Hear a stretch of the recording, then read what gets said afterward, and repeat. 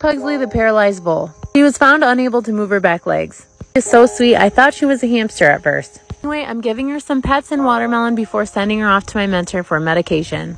If I have to build her one of these things to help her walk, I will. Let's hope for the best.